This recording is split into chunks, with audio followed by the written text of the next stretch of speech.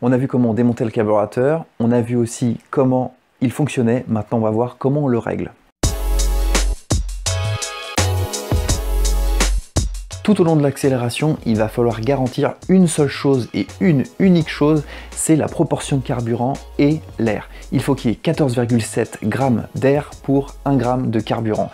C'est cette valeur qu'il faut absolument euh, garantir, quelle que soit la phase d'accélération et quel que soit le régime du moteur. On l'a vu dans la précédente euh, vidéo concernant le fonctionnement, il y a trois principaux réglages sur lesquels on va jouer aujourd'hui. Il y a tout d'abord dans la première phase de, démarrage entre 0 et 25% d'ouverture de poignée de gaz, la vis de ralenti, la vis de richesse. Donc ça, cette première phase, elle va faire l'objet d'un premier réglage. Le deuxième réglage, ça va être au niveau du gicleur principal lorsqu'on est en fin de phase d'accélération lorsqu'on est en vitesse de pointe, entre 75% d'ouverture de poignée de gaz et 100%. Et le dernier réglage, c'est dans la position intermédiaire, entre 25 et 75% d'ouverture de poignée de gaz, ça va être la forme de l'aiguille et la position de l'aiguille. Ici, on va juste voir la position de l'aiguille par rapport au boisseau. Encore une fois, le but du jeu, ça va être pour chacune de ces trois phases de garantir la proportion exacte de carburant et d'air. Donc pour ces trois réglages, il va falloir toujours jouer sur la pauvreté ou la richesse du carburant en jouant sur un paramètre. À la fin de cette vidéo, vous aurez des notions rien qu'avec le comportement du scooter de savoir si le mélange est trop riche ou trop pauvre. Et du coup, vous allez pouvoir adapter les réglages qu'on va voir ensemble pour que le scooter réagisse le mieux possible. Avant de démarrer le premier réglage, il va falloir s'assurer que le niveau de cuve du carburateur est correct.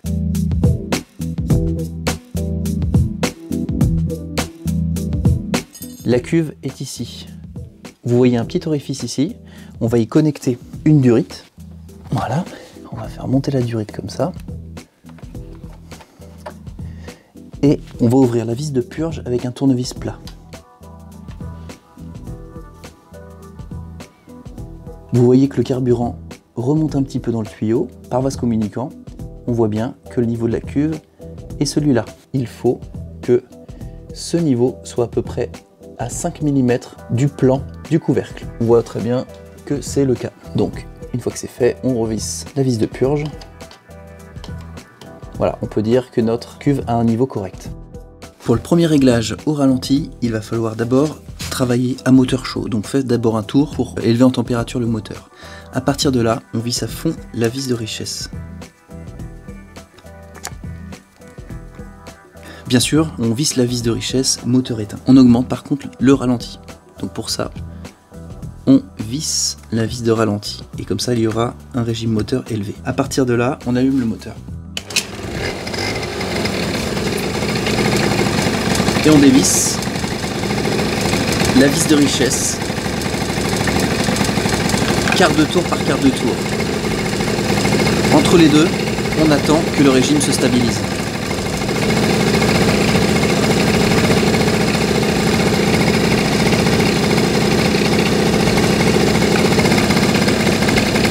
Le régime moteur va dans un premier temps s'élever.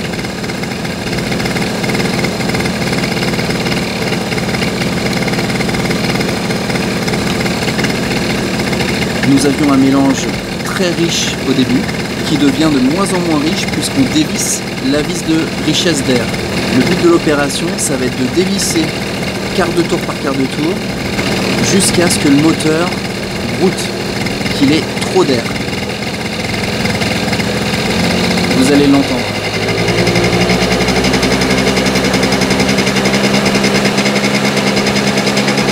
On va diminuer un peu le régime moteur.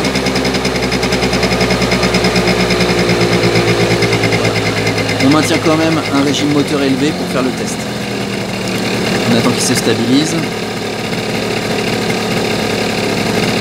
Et on continue à dévisser la vis de richesse, quart de tour par quart de tour.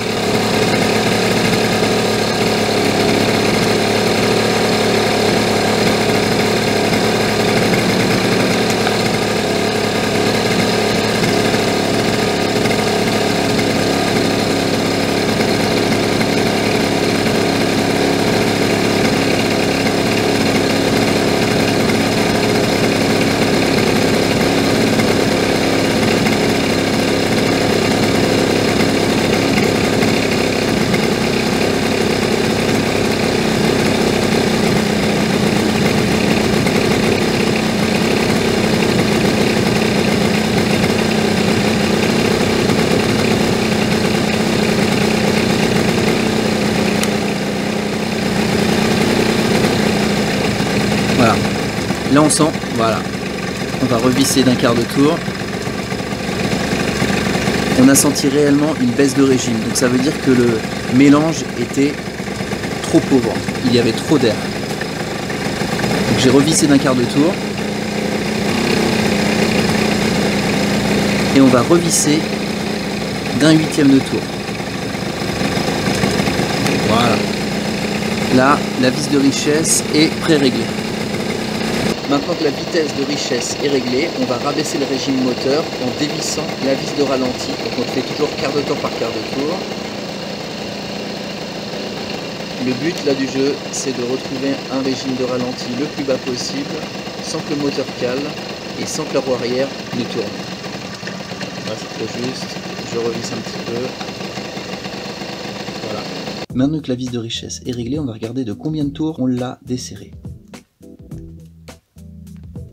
Un demi-tour, un tour, deux tours, voilà, deux tours écart.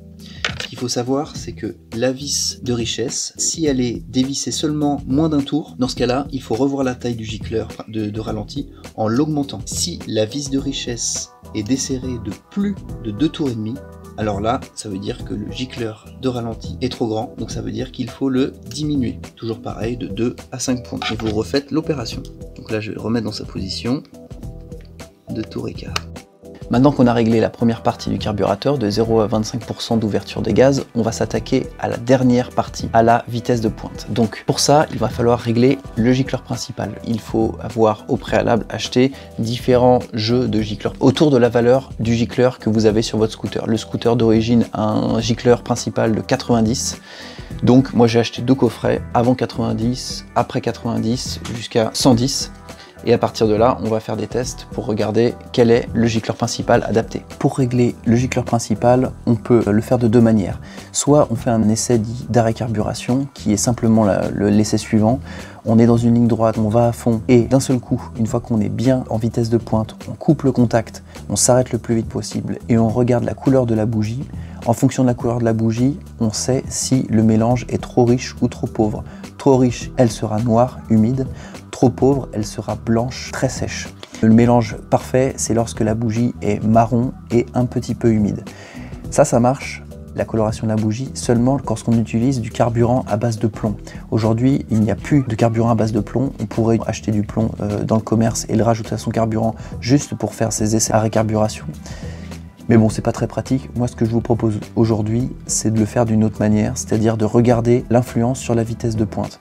Logiquement, Lorsqu'on a un gicleur principal trop riche, on va avoir des performances altérées. Lorsqu'on a un mélange trop pauvre, aussi, on va avoir des performances en vitesse de pointe altérées. Donc, on va rechercher la vitesse de pointe, la maximum, et on va retenir le gicleur principal le plus petit. Je vais commencer en faisant un essai avec les conditions d'origine, un gicleur de 90, ensuite je vais augmenter de 10 points ce gicleur, je vais passer à 100, et je vais baisser d'environ 2 points en 2 points pour retrouver les 90, puis descendre un petit peu en bas pour voir si les performances sont vraiment diminuées. Je vais pas aller trop bas dans la taille du gicleur parce que euh, si on utilise un gicleur trop petit, on risque une casse moteur. Donc j'ai pas trop envie de casser mon moteur aujourd'hui juste pour un essai et une vidéo. On va passer plutôt avec un gicleur plus grand, on va le descendre et on va regarder l'influence sur les performances du scooter en vitesse de pointe.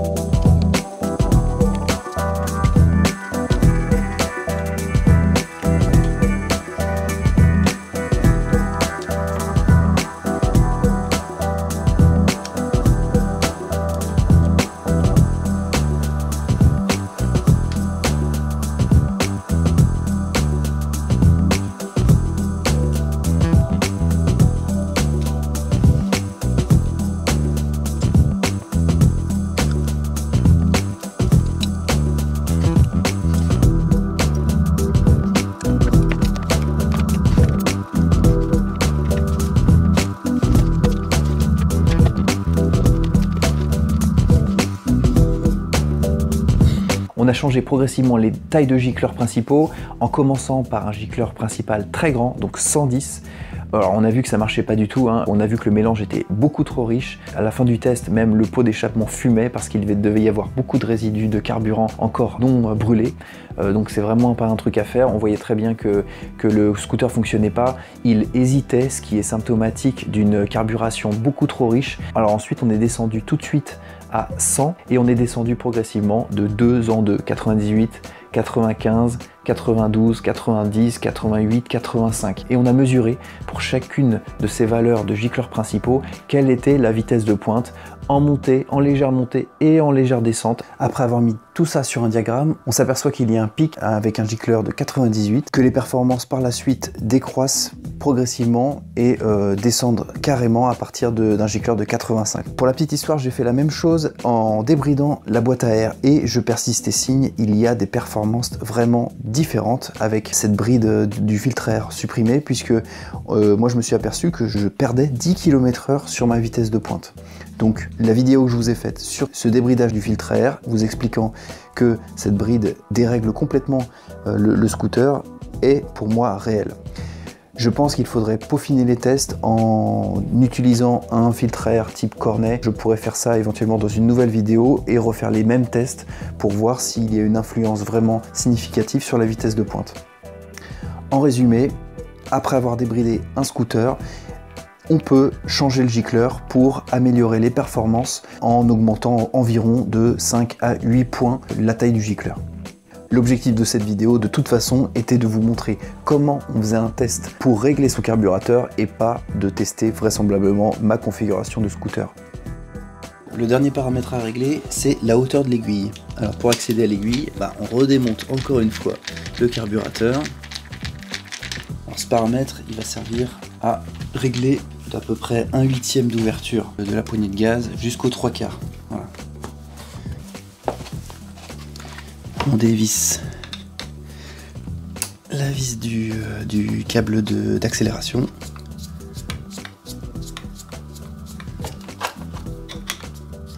Voilà. Et on va accéder à l'aiguille. Donc Maintenant vous êtes familiarisé, le boisseau, l'aiguille. Le but du réglage, c'est de caler l'aiguille plus ou moins bas ou haut par rapport au boisseau pour, ouvrir plus ou moins vite l'arrivée de l'essence. Je vous conseille de vous munir de gants, hein, on sait jamais, les ressorts ça peut faire mal. Alors on insère un tournevis dans la rainure du boisseau, on fait remonter le ressort, on fait tourner le, câble dans la rainure qui nous permet de libérer le câble.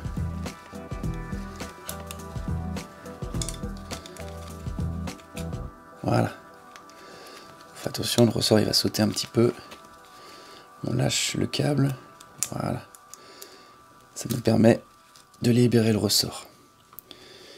Voilà, une fois que le boisseau est libéré, eh bien on va le démonter tout doucement. Donc on remonte l'aiguille en la poussant pour la démonter. On récupère la cage. On pousse l'aiguille encore et on récupère l'aiguille. Donc vous voyez, l'aiguille est constituée d'une tige métallique avec une partie conique. L'arrivée de l'essence dépend aussi de cette forme. Elle dépend aussi du moment où le carburant rentre dans le conduit. Ça c'est déterminé par, par ce qu'on voit ici, le petit circlips qui détermine la hauteur de l'aiguille dans son logement. Il y a 5 positions. Une de ces positions détermine le moment où le carburant rentre dans le conduit. Donc le but du jeu aujourd'hui, ça va être de déplacer plus ou moins cette butée, de faire un essai sur route pour chacune des configurations entre le quart d'ouverture et le trois quarts d'ouverture, d'ouvrir progressivement le gaz entre ces deux positions pour voir si la montée en régime est progressive et s'il n'y a pas de trou à l'accélération. Donc je vous propose de faire trois essais. Le premier avec la butée au centre, le second avec la butée au deuxième cran, donc on rabaisse l'aiguille, ça veut dire que le carburant mettra plus de temps à arriver dans le conduit, et le troisième essai avec la butée au niveau du quatrième cran, l'aiguille sera remontée, l'essence ira plus vite dans le conduit. Pour enlever ce petit circlip, on prend une pince, voilà, on l'enlève, et on va la repositionner sur le second cran pour le premier essai. Et on va faire un essai comme ça. Pour remonter le tout, on reprend le boisseau, on enfile l'aiguille dans le boisseau. Ensuite, on reprend la cage blanche et on voit qu'il y a un petit ergot sur cette cage. Donc cet ergot doit correspondre au trou que l'on voit au fond du boisseau.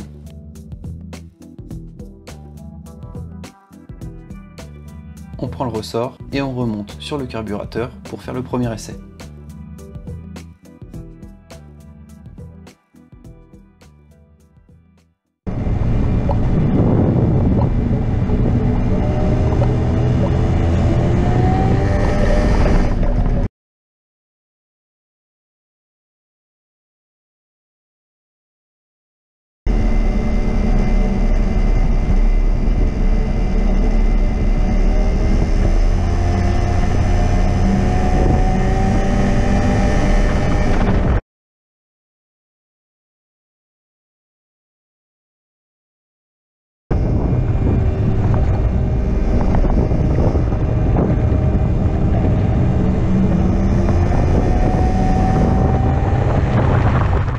Aurait pu peaufiner le test en changeant le type d'aiguille et en trouvant euh, l'aiguille la mieux adaptée à la phase d'accélération qui correspond à, un mélange de carburant air parfait. Personnellement, j'ai pas d'autre aiguille, donc je m'en suis tenu à la hauteur de l'aiguille, ce qui est quand même déterminant dans le schéma qu'on a vu précédemment dans le fonctionnement du, carburateur. Elle traduit bien la plage 25-75% euh, de la phase euh, d'accélération.